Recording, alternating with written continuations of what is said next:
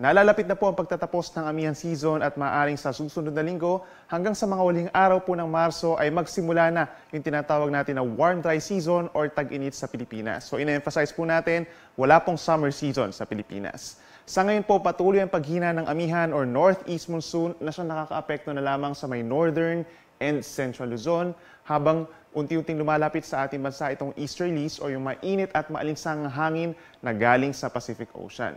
Samantala, yung low pressure area po na ating minomonitor nitong mga nagdaang araw sa silangan ng Visayas ay nalusaw na at tanging mga cloud remnants o yung mga natitirang kaulapan ang siyang nagpapaulan po sa ilang bahagi ng Visayas and Southern Luzon.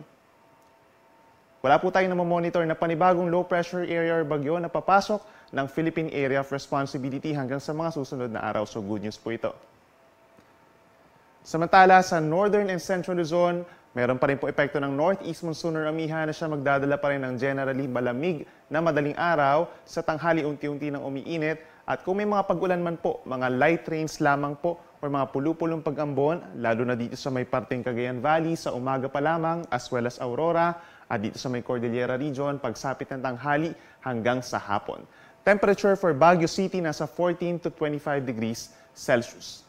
Sa ating mga kababayan sa Southern Luzon, kabilang ang Metro Manila, asahan pa rin ang bahagyang maulap hanggang sa maulap na kalangitan. Pinakamataas ang tsansa ng mga pulupulong pag-ulan dito po sa may Southern Bicol, kabilang ng mga probinsya ng Sorsogon and Masbate.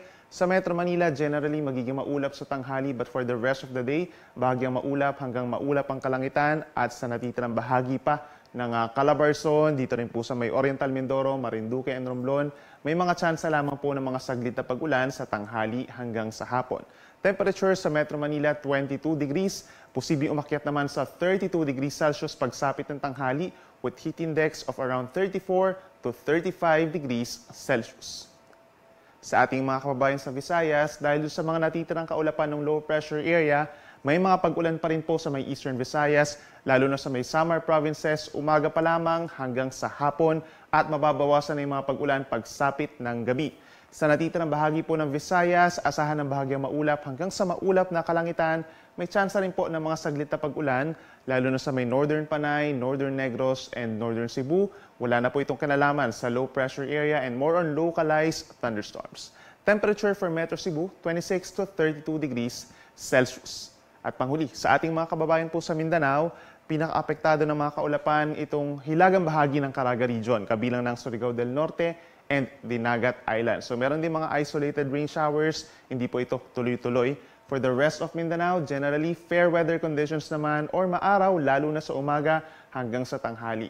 At kap kapalit po nito, magiging mainit at maalinsangan lalo na dito sa may Zamboanga City nasa 34 degrees Celsius yung observed or forecast temperature at sa Davao City po, posibleng umakyat pa sa 35 degrees Celsius. So kung lalabas po ng bahay, stay hydrated po magdala ng extra tubig at uh, payong pananggalang sa init. Pagsapit po ng hapon hanggang sa gabi, meron pa rin mga localized thunderstorms or pulupulong pag-ulan sa malaking bahagi ng Mindanao, lalo na dito sa may northern Mindanao at sa may central portions, sa may Soxagen and uh, mainland uh, Bangsamoro region. So temperature natin for Metro Davao, 24 to 35 degrees Celsius. Sa ngayon po, wala pa rin tayong gale warning or banta ng matataas na pag-alon dahil sa unti-unti paghina pa rin ng northeast monsoon. Magiging maalo naman dito sa may silangang baybayin po ng Luzon and Visayas hanggang 2.8 meters or nasa isang palapag ng gusali. But then again, papayagan pa rin pumalaot ang ating mga kababayan sa alinmang baybayin ng ating bansa, lalo na dito sa may western seaboards of the country.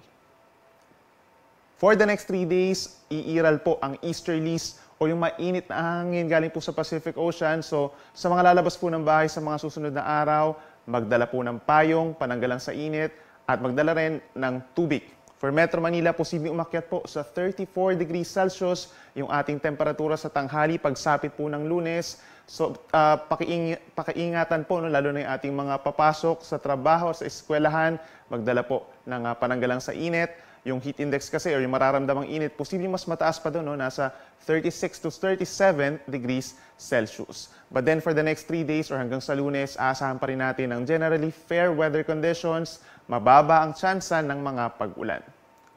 Sa ating mga kababayan po at mamamasyal sa Baguio City. So yung mga namimiss po yung ah, malamig na temperatura, magpunta po tayo sa may Cordillera region, sa may Baguio City.